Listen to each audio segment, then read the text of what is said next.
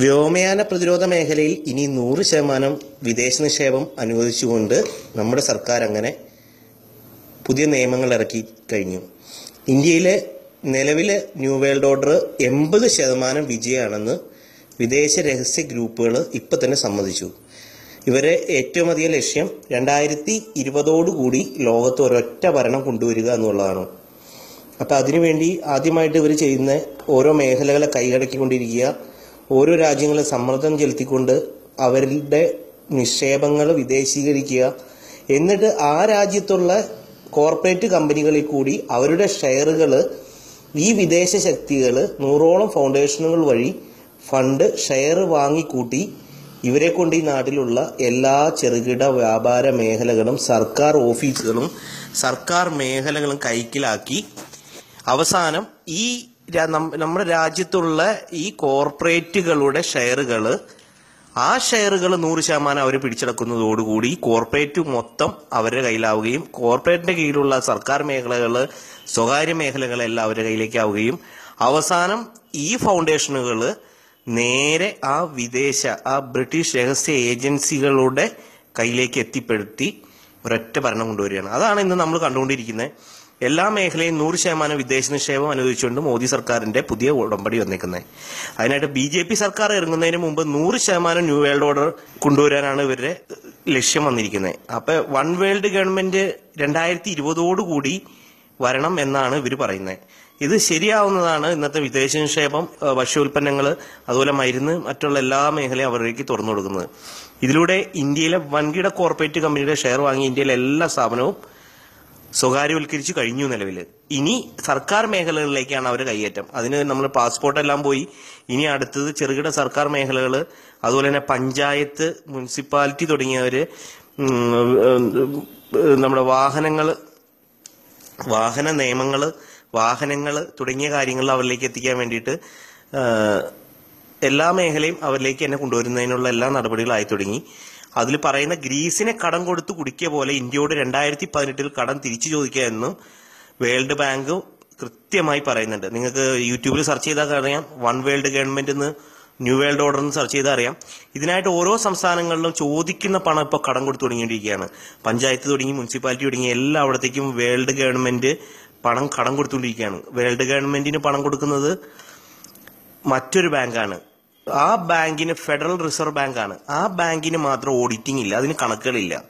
ആ bank world bank വഴി എല്ലാ ബാങ്കുകൾക്കും എല്ലാ രാജ്യങ്ങൾക്കും ചെറുകിട സ്ഥാപനങ്ങൾക്ക് വരെ ഇന്ന് കടം കൊടുത്തുകൊണ്ടിരിക്കുകയാണ് അപ്പോൾ അതിൽ ചെറിയ ഒപ്പുകളൊക്കെ ഇടുകയും ആ ഒപ്പ് എന്താണെന്ന് മനസ്സിലായില്ല. അത് വായിച്ചില്ലെങ്കിൽ അവസാനം ഇത് ആ ഒപ്പിലേക്ക് ആ ഒപ്പ് കൊണ്ട് എത്തിച്ചേർന്ന് അവരുടെ കയ്യിലേക്കാണ്. ഇനി അതിനായിട്ട് അടുത്തായിട്ട് അവർ ഓരോ സംസ്ഥാനങ്ങൾക്കും പണം കടം കൊടുത്തുകൊണ്ടിരിക്കുകയാണ്. എല്ലാ മേഖലയിലെയും ഫയലുകൾ രേഖകൾ എല്ലാം ഇനി അവരുടെ കയ്യിലേക്ക് എത്തിക്കണം. ഉദാഹരണത്തിന് പഞ്ചായത്ത് മുനിസിപ്പാലിറ്റി പോലുള്ള എല്ലാ മേഖലകളിലെയും ചെറുകിട ആളുകളുടെ ജനന സർട്ടിഫിക്കറ്റ് മരണ സർട്ടിഫിക്കറ്റ് എന്ന് തുടങ്ങിയ എല്ലാം അവരുടെ കയ്യിലേക്ക് ആക്കണം അതിനായിട്ട് അവർ ആദ്യം ചെയ്യേണ്ടത് ടാറ്റ പോലെയുള്ള കമ്പനികൾക്ക് ബിൽഗേറ്റ്സ് ഫൗണ്ടേഷന്റെ സോഫ്റ്റ്വെയറുകൾ നൽകി ഈ സോഫ്റ്റ്വെയറുകളാണ് ഇവർക്ക് കൊടുക്കുന്നത്. അപ്പൊ ഇന്നിപ്പോ എന്ത് ചെയ്യുന്ന വെച്ചാൽ തദ്ദേശ സ്വയംഭരണ സ്ഥാപനങ്ങളെല്ലാം ടാറ്റയുടെ സോഫ്റ്റ്വെയർ ഉപയോഗിക്കുന്നത്. ഇപ്പൊ മുനിസിപ്പാലിറ്റികളിലെല്ലാം അവരെ ഉപയോഗിച്ച് അഞ്ച് വർഷത്തെ എട്ട് വർഷത്തെ കാലാവധി പറഞ്ഞിരുന്നത് ആ കാലാവധി കഴിഞ്ഞു. ഇനിയിപ്പോൾ അവർ പറയാം ഞങ്ങൾ അത് പുതുക്കി കൊടുക്കില്ല എന്ന് ഇങ്ങനെ പുതുക്കി കൊടുക്കാണ്ടിരുന്ന എന്ത് സംഭവിക്കും? അവർ ആ സോഫ്റ്റ്വെയർ കട്ടാവും. സോഫ്റ്റ്വെയർ കട്ടായാലോ? പഞ്ചായത്തിലുള്ള രേഖകളും നമ്മുടെ സർവേ നമ്പർ ആധാരം തുടങ്ങി എല്ലാം അതിനകത്തേക്ക് കയറ്റിയേക്കുക. ഇനി അത് നമ്മൾ പഴയ ഫയൽ തപ്പണം. പഴയ ഫയൽ നമ്മുടെ അടുത്തുള്ള എല്ലാ ഓഫീസുകളിലുള്ളതൊക്കെ ചെതലരിച്ചു പോയി. എല്ലാം ഡിജിറ്റലാക്കി. ഡിജിറ്റലാക്കി അവരുടെ കയ്യിലായി. ഇനി അവർ പറയാണ് ഞങ്ങൾക്ക് ഇത് സോഫ്റ്റ്വെയർ പുതുക്കി തരണമെങ്കിൽ മാസം ഒന്നര ലക്ഷം രൂപ കൊടുക്കണമെന്ന്. ഇത്രയും കൊടുത്താലാണ്. അപ്പൊ അതുകൊണ്ട് പല മുനിസിപ്പാലിറ്റികളും നിങ്ങൾ അന്വേഷിച്ചാൽ അറിയാം. പല മുനിസിപ്പാലിറ്റികളും ഇപ്പൊ ഇട്ടാവട്ടത്തിൽ വട്ടക്കൊട്ടയിൽ വെള്ളം കോരി എന്ത് ചെയ്യണമെന്ന് അറിയാതെ. പണമില്ല രണ്ട് ലക്ഷം രൂപ മന്ത്ലി കൊടുക്കാനാണ് പറയുന്നത് അല്ലെങ്കിൽ അവസാനം അവർ പറഞ്ഞിരിക്കുന്ന ഒരു നിർദ്ദേശം. ഞങ്ങൾ ടാക്സ് പിരിച്ചോളാന്ന്. കടകളുടെയും ചെറുകിട വ്യാപാരങ്ങളുടെയും ടാക്സ് പിരിച്ചോളാന്ന്. അപ്പൊ ഇനി അടുത്തത് അവർ ഈ ഒറ്റ ഭരണം കൊണ്ടുവരാൻ വേണ്ടി ചെയ്യുന്നത് ഭക്ഷ്യോൽപ്പന്നം സ്വന്തമാക്കുക എല്ലാ രാജ്യങ്ങളിലും എല്ലാ ഇന്ത്യയിലും ഉൾപ്പെടെ ഇനി നമ്മൾ ഭക്ഷിക്കുന്ന ഭക്ഷണ പദാർത്ഥങ്ങൾ അവർ തീരുമാനിക്കും ആർക്ക് കൊടുക്കണം എങ്ങനെ കൊടുക്കണം എപ്പോൾ കൊടുക്കണം എന്ത് റേറ്റിംഗ് കൊടുക്കണം. അതിനുവേണ്ടി ഭക്ഷ്യോൽപ്പന്നം വിദേശികൾക്ക് കൊടുക്കാൻ നമ്മുടെ കൃഷിക്കാരുടെ കാര്യം അവതാളത്തിലാവും. അപ്പോൾ എന്ത് സംഭവിക്കും? നൂറ് ശതമാനം വിദേശ നിക്ഷേപം വന്ന മൊസാൻഡോ എന്ന കമ്പനി ജനിതക മാറ്റം വരുത്തിയ കമ്പനി ഇവിടെ കൊണ്ടുവരികയാണ് ഇതിന്റെ ലക്ഷ്യം. ഇത് വന്നു കഴിഞ്ഞാൽ കർഷകർക്ക് ഇനി സാധാരണ രീതിയിൽ കൃഷി ചെയ്യാൻ കഴിയില്ല. അപ്പോൾ ഭക്ഷ്യസുരക്ഷ നിർമ്മാക്കും സ്ട്രിക്റ്റ് ആക്കും ഫുഡ് ആൻഡ് സേഫ്റ്റി നിയമം സ്ട്രിക്റ്റ് ആക്കും പച്ചക്കറിയൊക്കെ ഉണ്ടാക്കി വിൽക്കണമെങ്കിൽ ഇനി ബാർകോഡിംഗ് സംവിധാനം വരും. സാധാരണ ഒരു കർഷകൻ ഇതൊക്കെ ഉണ്ടാക്കി ചെയ്യലോ പാക്ക് ചെയ്യലോ അതിന്റെ ഉള്ളിൽ ഇരിക്കുന്ന വൈറ്റമിൻ മിനറൽ എന്താണെന്നുള്ളതോ ഇതൊന്നും ചെയ്യാൻ നടക്കില്ല. അപ്പോൾ അവർ വീട്ടിലിരിക്കേണ്ടി വരും. ഇനി സ്വന്തമായിട്ട് നടത്തുന്ന സ്വയം തൊഴിൽ ഗാന്ധിജി പറഞ്ഞ പോലെ സ്വയം തൊഴിൽ ചെയ്യുന്ന ആളുകളോ ഗാന്ധിജിയുടെ സ്വപ്നമായിരുന്നു ഇവിടെ സ്വയം തൊഴിൽ ചെയ്യുക എന്നുള്ളത്. പക്ഷേ ഇന്നിവിടെ ചേർക്കുന്നത് make in India make in India എന്ന് പറഞ്ഞപ്പോൾ ഇവിടെ എല്ലാവരും വിചാരിച്ചുകൊണ്ടിരിക്കുക അങ്ങ് ഇന്ത്യക്കാർ ഇവിടെ ഉണ്ടാക്കി അങ്ങ് കൊടുക്കുക എന്നാ. ഇന്ത്യക്കാരല്ല ഉണ്ടാക്കുന്നത്. ഉണ്ടാക്കുന്നതൊക്കെ അങ്ങ് വിദേശ കമ്പനികളാണ് ഇന്ത്യക്കാർ അവിടുത്തെ ടൈയും കോട്ടും ഇട്ട കോണോനിട്ട കഴുത്തി കോണോനിട്ട തൊഴിലാളികളാണ് പണ്ടത്തെ അടിമകൾ അടിമകൾ ഇപ്പം എല്ലാവർക്കും വേണ്ടത് ഉന്നത വിദ്യാഭ്യാസം. വിദ്യാഭ്യാസം അവർ നൽകും. അവർ പറയുന്ന വിദ്യാഭ്യാസം നൽകും. അവർ പറയുന്ന രീതിയിൽ പോകും നമ്മുടെ സർക്കാർ അത് അംഗീകരിക്കും. എല്ലാം ചെയ്ത് വിദ്യാഭ്യാസം അവരുടെ കയ്യിലേക്ക് ആക്കി അവർ വിദ്യാഭ്യാസം നൽകി ഓരോന്നിനും ഓരോ വിഭാഗമായി തിരിച്ച് ജൈ ഇന്നത്തെ കുട്ടികൾക്ക് വിദ്യാഭ്യാസം കഴിഞ്ഞാൽ ആ കുടി വേണ്ടത് ഏതെങ്കിലും ഒരു കമ്പനിയിൽ ജോലിക്ക് കയറാന്നല്ലാതെ ഒരു സാധനം പുതിയതായിട്ട് കണ്ടുപിടിക്കാനോ പുതിയ ബിസിനസ് നടത്താനോ ഒന്നും അവർക്ക് താല്പര്യമില്ല. അപ്പൊ ഈ പറഞ്ഞ കമ്പനിയുടെ കീഴിൽ പോകും ഇപ്പൊ ഇരുപതിനായിരം ഇരുപത്തി അയ്യായിരം ഒക്കെ സാലറി കൊടുക്കും. എല്ലാ കമ്പനിയും അവരുടെ തന്നെ ആയി കഴിയുമ്പോൾ അവർ പറയണം അയ്യായിരം രൂപ സാലറി തരുള്ളൂ എന്ന് പറഞ്ഞാൽ സമരം ചെയ്തു കഴിഞ്ഞാൽ അപ്പം പിരിച്ചുവിടും. ഒരു രക്ഷയില്ലാത്ത അവസ്ഥയിലേക്കാണ് ഇനി വരാൻ പോണത് വരുന്ന ആളുകൾ ഇനി എന്തൊക്കെയാ ചെയ്യുക കാണുക എന്നുള്ളത് നമുക്ക് കണ്ടറിയേണ്ടി വരും. ഇനി കമ്പോളത്തിന് അതിനെ അതിജീവിക്കാൻ സ്വയം ചെയ്യുന്നവർക്ക് സാധാരണ സാധിക്കില്ല. ജനങ്ങൾ ഇത്തരം കമ്പനികളിൽ തുച്ഛമായ ശമ്പളത്തിൽ അടിമപ്പണി പോലെ ചെയ്യുകയും എല്ലാം ചെയ്യേണ്ടി വരും. അതുപോലെ തന്നെ സർക്കാർ ജീവനക്കാരെ എല്ലാവരെയും കൂട്ടത്തോടുകൂടി പിരിച്ചുവിടും. സർക്കാർ ജീവനക്കാർക്ക് പൈസ കൊടുക്കാൻ ഇപ്പം തന്നെ സർക്കാരിന്റെ കയ്യിൽ പൈസ ഇല്ല. എല്ലാ പണവും തീർന്നു. അപ്പോൾ പൊതുമേഖലാ സ്ഥാപനങ്ങൾ ഇപ്പം തന്നെ ഓരോന്നോരോന്നായി വിറ്റു തുടങ്ങി. പൊതുമേഖലാ സ്ഥാപനങ്ങൾ ഓരോന്നോരോന്നായി ഇപ്പം തന്നെ വിറ്റു തുടങ്ങി. അപ്പോൾ ഇനി നമുക്ക് ചെയ്യാനുള്ളത് ഈ പറയുന്ന എല്ലാ സർക്കാർ മേഖലകളിലും പഞ്ചായത്ത് മുനിസിപ്പാലിറ്റി കോർപ്പറേഷൻ എല്ലാം നമ്മുടെ ഇപ്പോഴത്തെ പാസ്പോർട്ട് ടാറ്റയ്ക്ക് കൊടുത്ത പോലെ ടാറ്റയെ കൊണ്ട് ഏൽപ്പിച്ച് ടാറ്റ കൺസൾട്ടൻസി പോലെ തന്നെ ഏറ്റെടുത്ത് അവർ നടത്തിക്കുക എന്നുള്ളത്. അപ്പോൾ എല്ലാ സർക്കാർ ജോലിക്കാരെയും ഇനി അവർ അവർ പറയുന്ന സാലറിക്കുള്ള ആളുകളെ നിർത്തും. അങ്ങനെ നമ്മുടെ സർക്കാർ മേഖലകളും എല്ലാ മേഖലയും അങ്ങനെ പ്രൈവറ്റ് സ്വകാര്യവൽക്കരിച്ച് സ്വകാര്യവൽക്കരണത്തിലൂടെ നേരെ കോർപ്പറേറ്റ് കമ്പനികളിൽ നിന്ന് പിന്നെ വിദേശ കമ്പനികളിലേക്ക് മാറുന്നതാണ് ഇപ്പോൾ കാണാൻ കണ്ടുകൊണ്ടിരിക്കുന്നത് ഇപ്പോൾ നമ്മൾ നിലവിൽ കണ്ടുകൊണ്ടിരിക്കുന്നത് ഇതിന്റെ എല്ലാ അവസാനം വരുന്നത് ഒരൊറ്റ ഭരണം കൊണ്ടുവരിക ലോകത്ത് ഒരൊറ്റ മതം ഒരൊറ്റ കറൻസി ഇത് മൂന്നുമാണ് അവർ ലക്ഷ്യമാക്കുന്നത് ഇതിൽ നിന്ന്. ഇതിനെയാണ് നമ്മൾ ന്യൂ വേൾഡ് ഓർഡർ എന്ന് പറഞ്ഞൊരു ആശയം തന്നെയാണിത്. ഇത് പലരും ഇത് പറയുമ്പോൾ ഇത് കോൺഫ്ലിക്ട് തിയറിയാണ് ഇതൊരു സാങ്കല്പികമാണെന്നൊക്കെയാണ് പറയുന്നത് പക്ഷേ ഇത് നമുക്ക് ഒരിക്കലും സാങ്കല്പികം എന്ന് പറയാൻ കഴിയാത്ത രീതിയിലാണ് ഇന്നത്തെ നമ്മുടെ നാട് പോയിക്കൊണ്ടിരിക്കുന്നത് നമ്മുടെ നാട്ടിലെ അനുഭവം തന്നെ നോക്കിയാൽ മതി. എല്ലാ രാജ്യങ്ങളും എല്ലാ ഓഫീസുകളും എല്ലാ സർക്കാർ സ്ഥാപനങ്ങളും സ്വയംഭരണ സ്ഥാപനങ്ങളും എല്ലാം വിറ്റഴിച്ചുകൊണ്ടിരിക്കുകയാണ്. അപ്പോൾ നമ്മൾ പറയും നമ്മുടെ നാട്ടിലുള്ള ആളുകളല്ലേ അല്ലെങ്കിൽ കമ്പനിയല്ലേ വാങ്ങിക്കുന്നതെന്ന് പറയും. ഈ കമ്പനികളുടെ നിലനിൽപ്പിനെ പറ്റി നോക്കണം ഈ കമ്പനികൾക്ക് എവിടെ നിന്ന് പണം കിട്ടുന്നു? ഇവർക്ക് എവിടെ നിന്നാണ് ഷെയർ വരുന്നത്? ഇവർക്ക് ഇത് പ്രവർത്തിക്കാനുള്ള വാങ്ങി കൂട്ടാനുള്ള പണം എവിടെ നിന്ന് ഇത് അന്വേഷിക്കുമ്പോഴാണ് നമ്മുടെ വിദേശ നിക്ഷേപം നൂറ് ശതമാനത്തിൽ നിന്ന് പുറത്ത് രാജ്യത്ത് നിന്ന് വരുന്നതെന്ന്. അപ്പോ ഇങ്ങനെ പോയി ഇനി അവസാനം സംഭവിക്കാൻ പോകുന്ന എല്ലാ വ്യക്തികളുടെയും ഇനിയിപ്പോ അടുത്തത് വരുന്നത് നമ്മുടെ ആധാർ കാർഡാണ് ഇപ്പൊ നമ്മൾ കത്തി നിൽക്കുന്ന ഒരു സംഭവം. ആധാർ കാർഡ് എല്ലാ രാജ്യങ്ങളിലേക്കും എല്ലാ ലോകരാജ്യത്തുമായി ഇത് എല്ലാ ജനങ്ങളിലേക്കും എത്തിച്ചു കഴിയണം. അപ്പൊ എല്ലാ വ്യക്തികളെയും ഇനി ട്രാക്ക് ചെയ്യുക. എല്ലാ വ്യക്തികളെയും ട്രാക്ക് ചെയ്ത് കഴിഞ്ഞാലാണ് ഓരോ വ്യക്തിയുടെ ഡീറ്റെയിൽ അവർക്ക് അറിയുള്ളൂ. അപ്പൊ അത് ആഫ്രിക്ക പോലുള്ള രാജ്യങ്ങൾ സമ്മതിക്കാതെ വന്നപ്പോ അവിടെ ആശുപത്രിയിൽ ചെല്ലണമെങ്കിൽ അസുഖം വന്ന് ആശുപത്രിയിൽ ചെല്ലണമെങ്കിൽ കൈത്തണ്ടും ഈ കണ്ണിന്റെ ഇതും എടുത്താൽ മാത്രമാണ് ആ രേഖ ആധാർ വഴി ചെയ്താലാണ് ഇനി അവർക്ക് ആശുപത്രിയിൽ പോകാൻ പറ്റുള്ളൂ എന്ന് നയമാക്കി. അതോടുകൂടി അവരും പെട്ടു. അപ്പൊ ഇത് എതിർക്കാൻ കഴിയാത്ത ഒരു രീതിയാണ്. എന്നാലോ വന്നു കഴിഞ്ഞാൽ ഇപ്പൊ നമ്മുടെ നാട്ടിലുള്ള അസ്വസ്ഥതകൾ അല്ലെങ്കിൽ രാഷ്ട്രീയ പ്രശ്നങ്ങൾ ഭരണ പ്രശ്നങ്ങൾ ഇതെല്ലാം നോക്കി കഴിയുമ്പോൾ നമുക്കത് അവർ വരട്ടെ വിദേശികൾ ഇവിടെ ഒന്ന് ഭരിക്കട്ടെ എന്ന് നമുക്ക് തോന്നാം. പക്ഷെ ഇത് തന്നെയാണ് നമുക്ക് പണ്ട് നാൽപ്പത്തി ഏഴിലും സ്വാതന്ത്ര്യം കിട്ടുന്ന സമയത്തിന് തൊട്ട് മുമ്പ് ഇവിടെ നടന്നുകൊണ്ടിരുന്നത്. സ്വാതന്ത്ര്യം ബ്രിട്ടീഷുകാർ വന്ന് ഓരോ രാജ്യങ്ങളും പിടിച്ചടക്കിക്കൊണ്ടിരുന്ന ഇതേ അവസ്ഥ തന്നെയാണ് ഇപ്പോഴും നടന്നുകൊണ്ടിരിക്കുന്നത്. അപ്പൊ ഇനി ആധാർ കാർഡ് ശക്തമാക്കി കഴിഞ്ഞാൽ എല്ലാ മേഖലകളിൽ കൂടെ ആധാർ കാർഡ് ലിങ്ക് ചെയ്യും. ആധാർ ലിങ്ക് ചെയ്ത് കഴിഞ്ഞാൽ ബാങ്കിങ് മേഖലയാവും. ബാങ്കിങ് മേഖല മൊബൈൽ അടുത്ത വർഷം മുതൽ ആധാർ മൊബൈലായിട്ട് ലിങ്കിങ് സംവിധാനം കൊണ്ടുവരും. ഇത് വന്നില്ല എന്നുണ്ടെങ്കിൽ എല്ലാവരും മൊബൈൽ കട്ടായി പോകും. പിന്നെ ഈ ആധാർ കാർഡ് കൊടുത്താൽ മാത്രമാണ് മൊബൈൽ ഓൺ ആവുന്നുള്ള ഒരു നിയമം അടുത്ത് തന്നെ വരും. അന്നേരം എല്ലാവരും മൊബൈൽ കൊടുക്കും. പിന്നെ ഈ മൊബൈൽ വഴിയാണ് അടുത്ത ഫണ്ട് ട്രാൻസ്ഫറും ഡിജിറ്റൽ ഡിജിറ്റലൈസേഷനും കൊണ്ടുവരുന്നത്. ഇനി ഇപ്പം നമ്മളെ ഇപ്പം ഇത്രയും പറഞ്ഞതിൽ നിന്ന് നമുക്ക് നമ്മുടെ ഭരണം എങ്ങനെ നമ്മുടെ കയ്യിൽ നിന്ന് പോകുന്നു എന്നുള്ളതാണ് നമ്മൾ കണ്ടത്. ഇനി ഒപ്പം ഭരണം പോയാൽ മാത്രം പോരാ. അവർക്ക് നമ്മുടെ പണം കൂടി അവരുടെ കയ്യിലേക്ക് എത്തണം. അതിനെന്ത് ചെയ്യും? ഭരണം പണം കയ്യിലെത്തുന്നതിന് ആദ്യം പണം അവരെ ഡിജിറ്റലൈസ് ആക്കണം ഡിജിറ്റലൈസേഷൻ ആക്കണം അതാണ് ഡിജിറ്റൽ ഇന്ത്യ എന്ന് പറഞ്ഞിട്ട് ഓരോ പ്രൊഡക്റ്റുകളിലേക്കൂടെ കൊണ്ടുവരുന്നത് അതിനെ നമ്മുടെ പോക്കറ്റിലോ വീട്ടിലോ എടുക്കുന്ന പണം നേരെ ബാങ്കിൽ എത്തിക്കണം ബാങ്കിൽ എത്തിച്ചാലാണ് ഈ പണത്തെ ഡിജിറ്റൽ ആക്കിയിട്ട് കൺട്രോൾ ചെയ്യാൻ പറ്റുള്ളൂ. അപ്പൊ അതിനാണ് ഇപ്പൊ ഓരോ ബാങ്ക് അക്കൗണ്ട് ജൻധൻ യോജന അത് ഇത് എന്നൊക്കെ പറഞ്ഞ് ഇൻഷുറൻസ് പ്രാധാന്യം നൽകി. ഇൻഷുറൻസ് കിട്ടും. നിങ്ങളിപ്പോ വീണ് കഴിഞ്ഞാൽ ആശുപത്രി കിടന്ന ലക്ഷങ്ങൾ കിട്ടും. അല്ലെങ്കിൽ നിങ്ങൾ ലോൺ എടുക്കാൻ ബാങ്കിൽ അഞ്ച് പൈസ കൊടുക്കാതെ നിങ്ങൾ ചെന്ന പതിനായിരങ്ങളും അമ്പതിനായിരങ്ങളും പത്ത് ലക്ഷം ബോണ്ടിലാണ്ട് തരും എന്നൊക്കെ പറഞ്ഞ് ഓരോരുത്തരെ പ്രലോഭിപ്പിച്ച് ലോൺ ബാങ്ക് അക്കൗണ്ട് എടുക്കുന്ന എല്ലാവരുടെയും പണം ബാങ്ക് അക്കൗണ്ട് എടുത്ത് അതിലൂടെ ട്രാൻസ്ഫർ ചെയ്യുക എന്നിട്ട് ആധാർ വഴി ലിങ്ക് ചെയ്തിട്ട് എ ടി എം കാർഡ് സംവിധാനങ്ങൾ കൂടുതൽ തരും. കാരണം ഒരു ഒരാൾക്ക് പൈസ കൊടുക്കണമെങ്കിൽ ഒരു മൊബൈലിൽ നിന്ന് ഒരു ക്ലിക്ക് ചെയ്താൽ അടുത്ത ആളുടെ മൊബൈലിലേക്ക് അപ്പോൾ പൈസയായി. അപ്പോൾ നോട്ടിന്റെ സമ്പ്രദായം നിർത്തലാക്കും. നോട്ട് സമ്പ്രദായം നിർത്തലാക്കിയിട്ട് ഡിജിറ്റലാക്കും ഡിജിറ്റലിന്റെ സർവർ ഈ സർവർ കൊടുക്കുന്നത് ബിൽഗേറ്റ്സിന്റെ മൈക്രോസോഫ്റ്റിന്റെ സോഫ്റ്റ്വെയറുകൾ ഉപയോഗിച്ചിട്ടാണ് ഇതിന്റെ ഈ സർവറിന്റെ കൺട്രോൾ മൊത്തം അവരിലേക്കും ഒരു സുപ്രഭാതത്തിൽ അവർ ആ സർവറാണ്ട് ഓഫ് ചെയ്ത് കഴിഞ്ഞാൽ എല്ലാവരും പൈസ അങ്ങ് കൊടുക്കും ആ രീതിയിലേക്കുള്ള ഒരു നീക്കമാണ് ഇപ്പൊ പതുക്കെ പതുക്കെ പതുക്കെ നീങ്ങിക്കൊണ്ടിരിക്കുന്നത് അത് മാത്രം പോരാ ഫുഡ് ഉൽപ്പന്നങ്ങൾ അവരിലേക്ക് ആക്കണം അതിന് ഭക്ഷ്യസുരക്ഷ പാസ്സാക്കണം. അതുപോലെ തന്നെ ഫുഡിന് വിദേശ നിക്ഷേപം വരുത്തണം. ഫുഡിന് നിക്ഷേ വിദേശ നിക്ഷേപം വന്നു കഴിയുമ്പോൾ ആദ്യം ചെയ്യേണ്ടത് മൊസാൻഡോ പോലുള്ള കമ്പനികൾ ഇവിടെ വരും. അവർ ജനിതക മാറ്റം വരുത്തിയ വസ്തുക്കളായിരിക്കും. ഇത് കഴിച്ചു കഴിഞ്ഞാൽ മനുഷ്യന് ഓരോ വലിയ മത്തങ്ങ കുമ്പളങ്ങ അല്ലെങ്കിൽ പച്ചക്കറി എല്ലാം വലിയ കമ്പനികളായി വലിയ വലിയ ഉൽപ്പന്നങ്ങളായിരിക്കും കാണുന്നത്. ഇത് കഴിച്ച് പല വിദേശ രാജ്യങ്ങളും പലർക്കും പല ജനിതക മാറ്റം വന്നിട്ടുണ്ട്. ജി എം ഒ ഫുഡ് കഴിച്ചാൽ ഉണ്ടാകുന്ന ഓരോ പ്രശ്നങ്ങളെ പറ്റി എതിർപ്പ് വന്നിട്ടുണ്ട്. അപ്പോൾ അവിടെ അമേരിക്കയിലൊക്കെ മൊസാൻഡോ പ്രൊട്ടക്ഷൻ ആക്ട് എന്ന് പറഞ്ഞ ഒരു ആക്ട് തന്നെ അവിടെ വന്നു. ഈ കമ്പനിയാണ് അടുത്ത് ഇന്ത്യയിലേക്ക് മൊൻസാൻഡോ എന്ന് പറഞ്ഞ കമ്പനിയാണ് ഇനിയിപ്പോൾ ഇന്ത്യയിലേക്ക് വരാൻ പോകുന്നത്. മൊൻസാൻഡോ ബയോടെക്നോളജി ഇവിടെ വരും. ഇപ്പൊ തന്നെ അവർ കുറേയേറെ സ്വാധീനിച്ചു കഴിഞ്ഞു. ഇപ്പൊ നമ്മൾ കടകളിൽ ചെന്നാലും അല്ലെങ്കിൽ നമ്മൾ ഒരു പച്ചക്കറി വാങ്ങിക്കാൻ കൃഷി വകുപ്പിൽ ചെന്നാലും ഇന്ന് നാടൻ പച്ചക്കറികൾ കിട്ടാനില്ല. നാടൻ കോഴികളെ കിട്ടാനില്ല. നാടൻ പശുവിനെ കിട്ടാനില്ല. എല്ലാം ജനിതക മാറ്റം വരുത്തി ചീർത്തിരിക്കുന്ന വസ്തുക്കളാണ്. ഈ ഭക്ഷണം കഴിച്ചാൽ മനുഷ്യന്റെ ശരീരത്തിന് എന്ത് സംഭവിക്കും? പ്രകൃതി എങ്ങനെയാണോ ചെയ്യുന്നത് അതേ രീതിയിൽ തന്നെയാണ് മനുഷ്യന്റെ ഭക്ഷണവും ശരീരവും ഉണ്ടാവുക. അപ്പം മനുഷ്യനും ചീർത്ത് തടിച്ചു വരും ഇവരുടെ ആയുസ് കുറയ്ക്കും. അപ്പൊ അങ്ങനെ വരുമ്പോൾ ജനസംഖ്യ കൂടും ജനസംഖ്യ ഇപ്പൊ കൂടിക്കൊണ്ടിരിക്കുകയാണ് ജനസംഖ്യ നിയന്ത്രിക്കണം.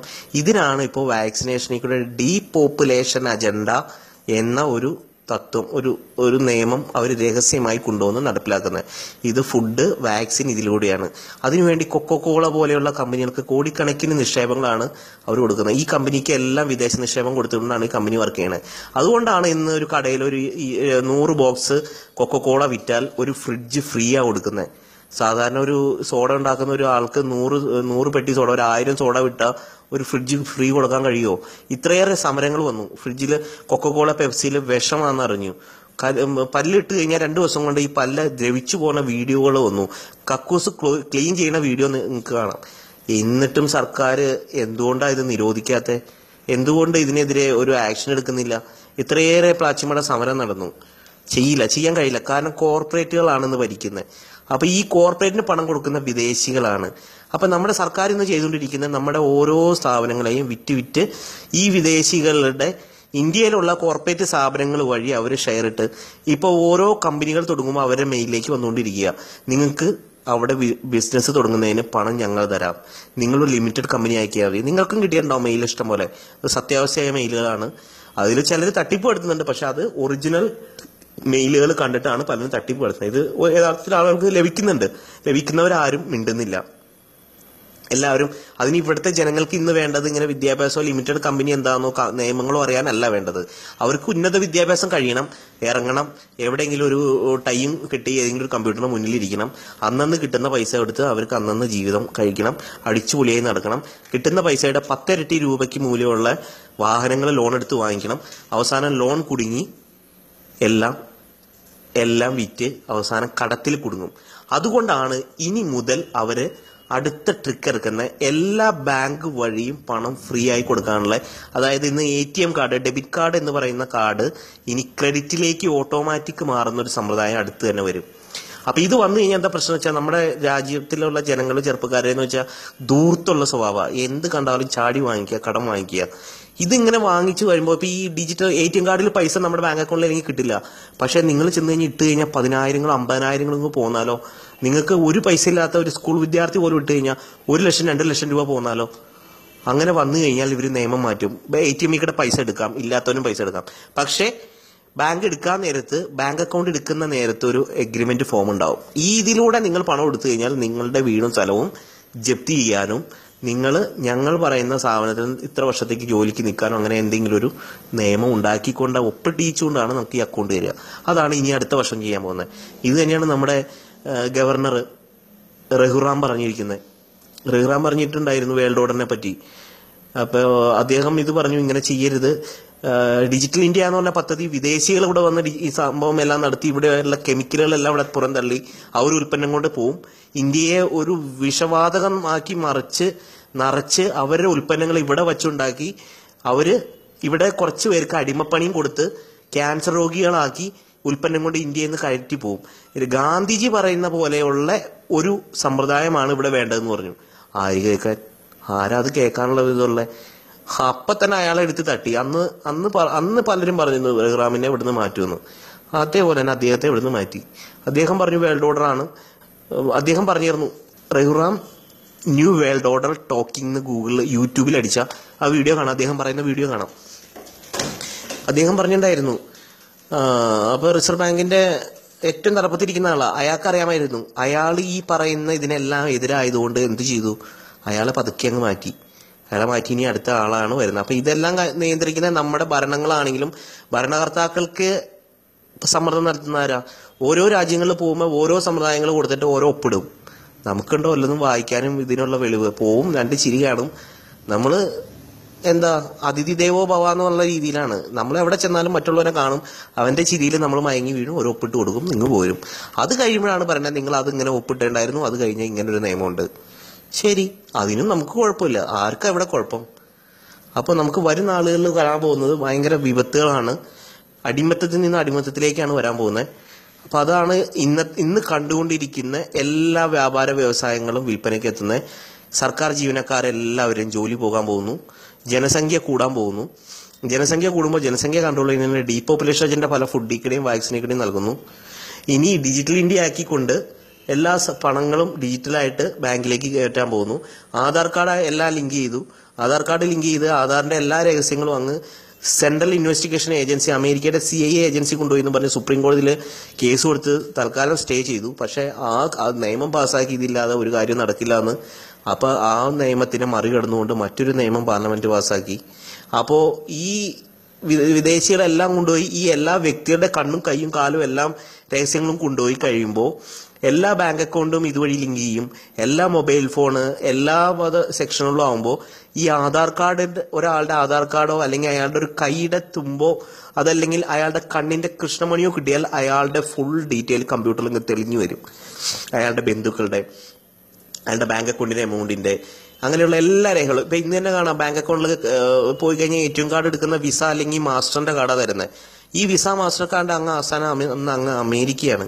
നമ്മൾ നമ്മുടെ നാട്ടിൽ ബാങ്ക് ഉണ്ടെങ്കിലും ആ ബാങ്ക് ഈ കമ്പനികളായിട്ടാണ് ടൈപ്പ് ചെയ്യുന്നത് അതിനെ മറികടക്കാനാണ് ഇവിടെ റൂപേ കാർഡ് കൊണ്ടുവന്ന്. ഇന്ത്യയിലെ രഹസ്യങ്ങൾ പോവും. ഇന്ത്യയിലെ എല്ലാ ലിങ്കും അവർക്ക് കിട്ടാതെ റൂപേ കാർഡ് റൂപേ കാർഡും ഇവിടെ ഇന്ത്യൻ കമ്പനിയാണെങ്കിലും ഈ കമ്പനിയുടെ ഷെയറുകളിൽ തൊണ്ണൂറ് ശതമാനവും വിദേശ കമ്പനികളുടെയാണ് അത് നിയന്ത്രിക്കുന്ന വിദേശികളാണ് അപ്പോൾ നമ്മൾ ഉണ്ണണോ ഉറങ്ങണോ ഊണ് കഴിക്കണോ എന്നെല്ലാം അറിയുന്ന അവരാണ്. അപ്പോൾ ഇതെല്ലാം ആധാർ കാർഡ് വഴി ലിങ്ക് ചെയ്ത് അവസാനം ഇവർ ചെയ്യാൻ പോകുന്ന ഒരു സുപ്രഭാതത്തിൽ നമ്മുടെ ബാങ്കിങ് മേഖലകളിലെല്ലാം വർക്കിന് വന്നിരുന്ന തൊഴിലാളികൾ ഓഫീസുകളിലെല്ലാം ചെയ്യുന്ന റോബോട്ടുകളായിരിക്കും. ഈ എല്ലാ ഡിജിറ്റൽ ആക്കിയ ആധാർ കാർഡിന്റെ ചിപ്പിലുള്ള ചിപ്പ് ഈ പറയുന്ന ഡിജിറ്റൽ എല്ലാം ഈ റോബോട്ടിന്റെ ചിപ്പിലേക്ക് മെമ്മറിയിലേക്ക് ഞാൻ കൊടുക്കും. അതിനാണ് ആർട്ടിഫിഷ്യൽ മെമ്മറി ഉള്ള റോബോട്ട് എന്ന് പറയുന്നത്. നെറ്റിലടിച്ചറിയാം. ഹ്യൂമൻ ആർട്ടിഫിഷ്യൽ റോബോട്ട് എന്നടിച്ചാൽ നിങ്ങൾക്ക് യൂട്യൂബിൽ അടിച്ചാൽ കിട്ടും. അതുപോലെ അങ്ങനെ റോബോട്ടുകൾ നിലവിൽ ഇറങ്ങിക്കഴിഞ്ഞു. ആർട്ടിഫിഷ്യൽ റോബോട്ട് എന്ന് അടിച്ചു കഴിഞ്ഞാലോ അതല്ലെങ്കിൽ അസിമോ റോബോട്ട് എന്ന് അടിച്ചു കഴിഞ്ഞാലോ അങ്ങനെ എല്ലാം അടിച്ചു കഴിഞ്ഞാൽ ഈ പറയുന്ന റോബോട്ടുകളുടെ വീഡിയോ നിങ്ങൾക്ക് കാണാം. ഈ റോബോട്ടുകൾ ഇനി നമ്മുടെ എല്ലാ ഓഫീസിലെ പണികളും ചെയ്യും. ബാങ്കിങ് മേഖലകൾ കമ്പ്യൂട്ടർ തുടങ്ങി എല്ലാവരും ഇപ്പോൾ വിദേശത്തൊക്കെ അങ്ങനെ ആയി തുടങ്ങി. വാർത്ത വായിക്കുന്നതിനും എല്ലാം റോബോട്ടുകളിലേക്ക് എത്തി. ഈ അങ്ങനെ ആയിക്കഴിയുമ്പോൾ ഈ ആധാർ കാർഡ് എല്ലാം ഇനിയിപ്പോൾ ഈ നമ്മുടെ ബാങ്കിങ് ഈ പറയുന്ന ഒരാൾക്ക് കൊണ്ടു നടക്കുന്ന പാസ്പോർട്ട് റേഷൻ കാർഡ് തിരിച്ച കാർഡ് ഡ്രൈവിംഗ് ലൈസൻസ് അങ്ങനെയുള്ള എല്ലാ കാർഡുകളും കൊണ്ടു നടക്കാൻ ബുദ്ധിമുട്ടുള്ളപ്പോൾ ഇതെല്ലാം കൂടി ഡിജിറ്റലാക്കി ആധാറിലേക്ക് കയറ്റും. അവസാനം ഇതിന് പണം ആധാറിലേക്ക് മാറ്റും. ഇതിന്റെ എല്ലാത്തിനും ഹാർഡ് ഡിസ്ക് നമ്മളൊരു മെയിലിലേക്ക് ഒരു സാധനം കയറ്റി കഴിഞ്ഞാൽ അതിന്റെ ഹാർഡ് ഡിസ്ക് അങ്ങ് ഗൂഗിളിൽ ഇരിക്കുന്ന നമ്മ അമേരിക്കയിലാണ് എല്ലാ സർക്കാർ ഓഫീസിൽ നിന്നും ഫയലുകൾ അങ്ങ് കയറ്റും ഇന്ന് കയറ്റി കയറ്റി എല്ലാ മെയിലിലേക്ക് അപ്ലോഡ് ചെയ്ത് കഴിയുമ്പോൾ ഇതിന്റെ ഹാർഡ് ഡിസ്ക് ഇരിക്കുന്ന അന്ന് അങ്ങ് അമേരിക്കയിലാണ് അവരവിടെ നിന്ന് ആ ഡിസ്കണക്ട് ചെയ്ത് കഴിഞ്ഞാൽ നമ്മുടെ ഡിജിറ്റലാക്കിയ എല്ലാ ഫയലും അവരുടെ കയ്യിലാവും. നമ്മുടെ കയ്യിൽ ഒന്നുമില്ല. എല്ലാം അവസാനം പോവും. ഇതാണ് സംഭവിക്കാൻ പോയിക്കൊണ്ടിരിക്കുന്നത്. അപ്പോൾ ഈ അവസാനം ഇനിയിപ്പോൾ വ്യക്തികളുടെ ശരീ എല്ലാ ഡീറ്റെയിലും കളക്ട് ചെയ്ത് ആധാർ കാർഡിൽ കളക്ട് ചെയ്ത് ഈ ആധാർ കാർഡ് ഡിജിറ്റൽ രൂപത്തിൽ കയ്യിൽ ഇടത് കൈയിൽ വലിയവരുടെ ഇടത് കൈയിലും ജനിക്കുന്ന കുട്ടികളുടെ ഞെറ്റിത്തും ഇത് മുദ്ര ചെയ്യണമെന്നുള്ള നിയമം വരികയാണ്. ആ നിയമത്തിനെയാണ് അത് അതാണ് നമ്മൾ ചില ഗ്രന്ഥങ്ങളിലൊക്കെ പറയുന്നുണ്ട് അറുന്നൂറ്റി അറുപത്തി ആറ് R F I D chip എന്ന് പറയുന്നത്. അപ്പോൾ ഈ R F I D chip ശരീരത്തിലേക്ക് ആക്കി ഇത് കയറിക്കഴിഞ്ഞാൽ ഒരു വ്യക്തി എങ്ങോട്ട് പോകുന്നു അയാളുടെ ഡീറ്റെയിൽ അയാളുടെ കയ്യിൽ എത്ര പണം ഉണ്ടെന്നും എല്ലാ ഡീറ്റെയിലും ഒരു സ്കാനിങ്ങിൽ കൂടെയോ ഒരു ചെറിയ ഷോപ്പിങ്ങിലൊക്കെ ചെന്ന് കഴിഞ്ഞാൽ കൈ അങ്ങ് കാണിച്ചു കൊടുത്താൽ മതി. എവിടെ ചെന്നാലും എല്ലാ ഡീറ്റെയിലും അവരുടെ കയ്യിലേക്കാവും അപ്പോൾ ഓരോ വ്യക്തികളെയും ഇനി ഈ പറയുന്ന റോബോട്ടുകൾ ഉപയോഗിച്ച് ഒരൊറ്റ സെൻട്രൽ കമ്പ്യൂട്ടർ സെറ്റ് ചെയ്തിട്ട് ലോകത്ത് മൊത്തം ഒരു സെൻട്രൽ കമ്പ്യൂട്ടർ സെറ്റ് ചെയ്തിട്ട് ആർമി ഭാഗത്തേക്ക് റോബോട്ടുകൾ ഇറക്കും. സ്വയം ചിന്തിക്കുന്ന റോബോട്ടുകൾ ഇറക്കും. പതുക്കെ പതുക്കെ പോലീസ് മേഖലകളിലേക്കും പോലീസിന് റോബോട്ട് എടുക്കും. അപ്പോൾ ഈ റോബോട്ടുകൾ നിങ്ങൾക്ക് അടിച്ചറിയാം. പോലീസ് റോബോട്ട് അല്ലെങ്കിൽ ആർട്ടിഫിഷ്യൽ റോബോട്ട് അസിമോ റോബോട്ട് ഇങ്ങനെയെല്ലാം യൂട്യൂബിൽ അടിച്ചാൽ ഇപ്പോൾ നിലവിൽ പല രാജ്യങ്ങളിലും റോബോട്ടായി. അപ്പോൾ ഈ നെസ്ലെ പോലെയുള്ള പല പല കമ്പനികളിൽ വർക്ക് ചെയ്യുന്നത് പലതും ഇപ്പോഴും ഈ റോബോട്ടുകൾ തന്നെയാണ്. ഇതെല്ലാം അവരുടെ കുത്തക കമ്പനിയാണ് അപ്പോൾ ഒരൊറ്റ ഗവൺമെന്റ് കൊണ്ടുവരാനും ഒരൊറ്റ ഭരണം കൊണ്ടുവരാനും ഒരൊറ്റ മതം വരുത്തുവാനാണ് ഇവർ ചെയ്തുകൊണ്ടിരിക്കുന്നത്. എല്ലാ നടപടിക്രമങ്ങളും ഇതോടുകൂടി കഴിഞ്ഞുകൊണ്ടിരിക്കുകയാണ്. നമ്മുടെ സർക്കാർ അതിനെ സപ്പോർട്ട് ചെയ്തുകൊണ്ടിരിക്കുകയാണ്.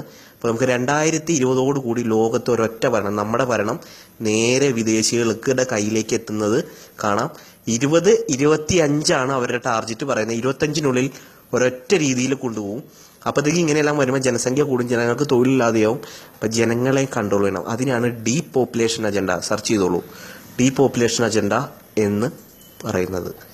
അപ്പോൾ കൂടുതൽ ന്യൂ വേൾഡ് ഓർഡറുകളായിട്ട് നമുക്ക് അടുത്ത എപ്പിസോഡുകളിൽ കാണാം. Good bye